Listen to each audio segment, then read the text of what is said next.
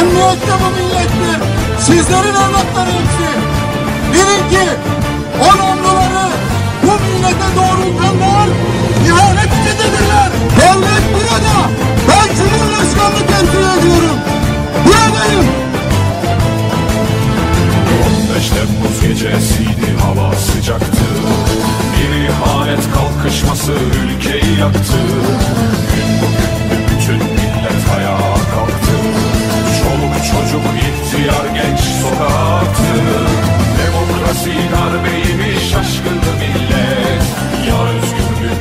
sonra yahut da zillet Dünyada en büyük güç milletlerin kendisidir. Bizler bu kazanımları kolay elde etmedik. Kurtuluş Savaşı'nda, Çanakkale'de hep birlikte, kardeşçe, din, din, ırk, hesap gözetmeden bugünlere geldik. Allah'ın izniyle de bundan sonra da ordusuyla, askeriyle, milletiyle bir olacağız, bir olacağız. Bu ülkeyi hiçbir şekilde böldürmeyeceğiz.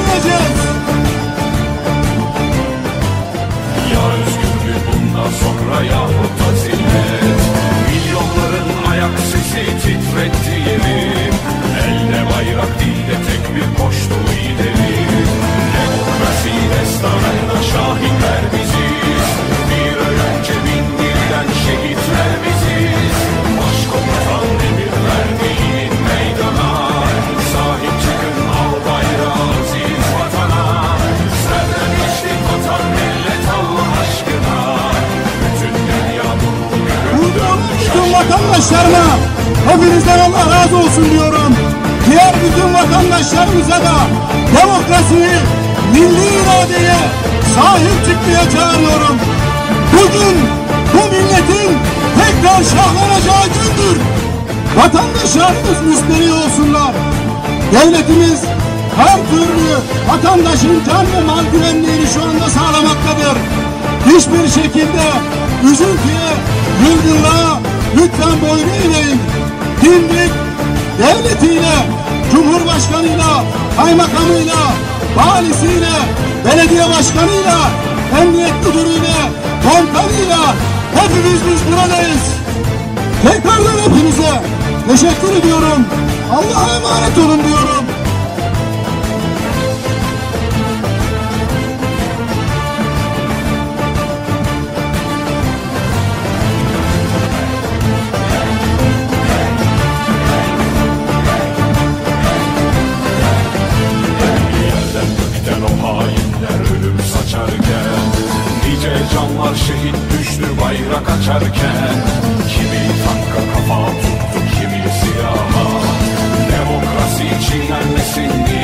Diye bir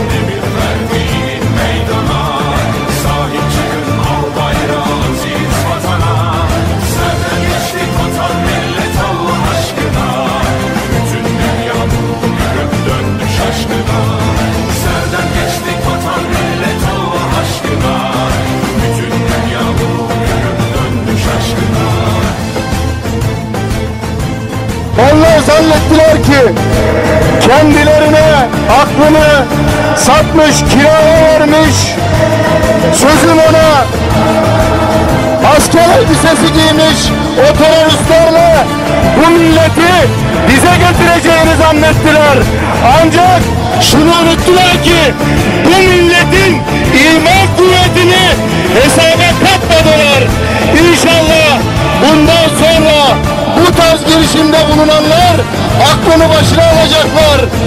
80 darbesini yapanlar belki eceliyle ölmüş olabilirler ama zannetmesinler ki bu darbeyi yapmaya çalışanlara eceliyle de ölüm yok.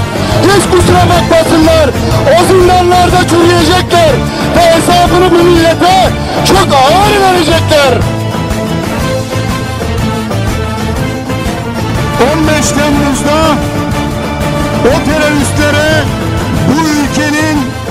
bir şekilde ele geçirilemeyeceğini ispat ettiğiniz için cümle aleme gösterdiğiniz için hepinizden Allah bin kere razı olsun. Sayın milletvekilim, kıymetli demreller, bizler kamu görevlileri olarak başta ilçede ben olmak üzere jandarmasıyla, emniyetiyle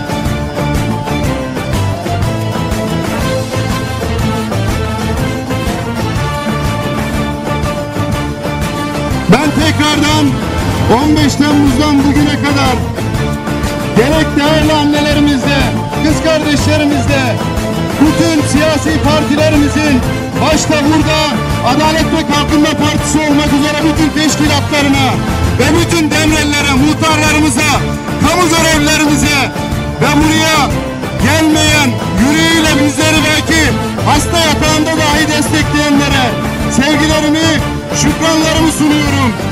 İyi ki varsınız. İyi ki sizler gibi bir aziz milletin bir ferdiyiz. Tekrardan sayın milletvekilimize bu meydanı şereflendirdiği için kendilerine çok teşekkür ediyorum. Sözlerimi daha fazla uzatmadan Allah'a emanet olun diyorum. Tekrar bir kez daha Allah sizlerden razı olsun diyorum. Saygılar sunuyorum.